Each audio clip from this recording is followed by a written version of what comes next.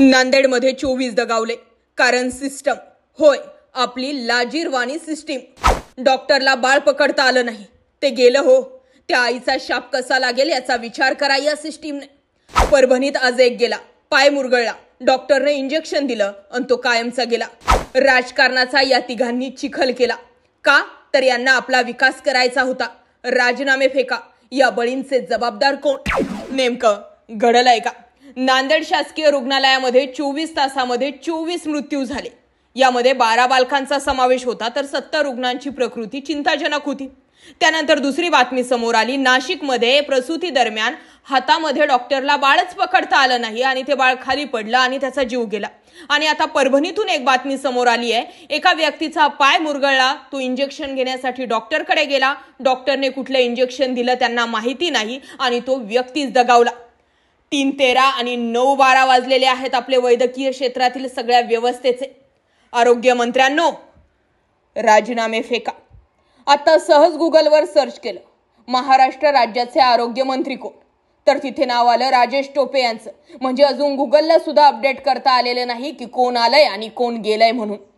इथपर्यंतची परिस्थिती आपली सध्या झालेली आहे आणि यावर सुद्धा विचार होणं गरजेचं आहे. प्रसूतीवेळी बाळ डॉक्टरांच्या हातून जमिनीवर पडल्यानं नवजात बाळाचा मृत्यू हा धक्कादायक प्रकार नाशिकच्या वसंतराव पवार मेडिकल रुग्णालयामध्ये घडला. त्यानंतर नांदेड या ठिकाणची घटना तिथं सर्वांनी बघितली.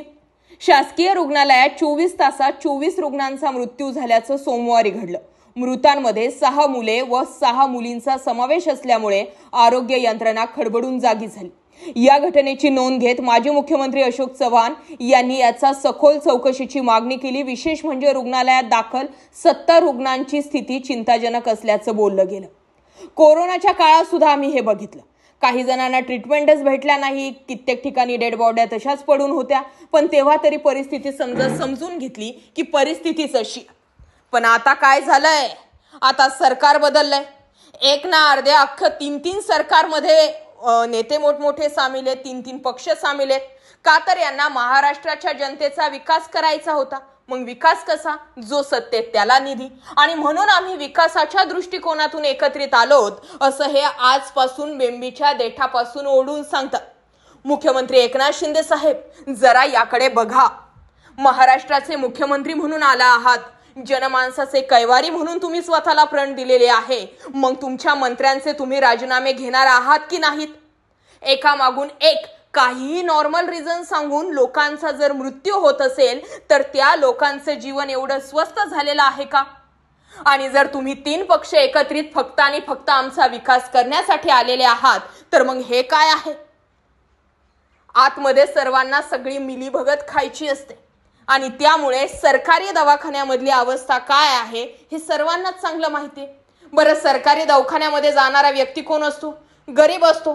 त्याला या सिस्टीम मधली सगळी प्रोसेस पार पाडता पाडताच त्याचा निम्मा मृत्यू झालेला असतोय. आणि बाकीचा उरला सुरलेला हा सिस्टीम करून टाकत असते. नाही यावर बोलणं गरजेचं आहे. या मुद्द्यावरती आज मी व्यक्त झालेले आहे. आरोग्य मंत्र्यांचा राजीनामा घ्यायचा की नाही घ्यायचा हे याच लोकांनी ठरवायचं आणि मूळ म्हणजे नैतिकता आणि मूळ म्हणजे नैतिकता या मुद्द्यावर बोलण्यात तर काही अर्थच राहिलेला नाही.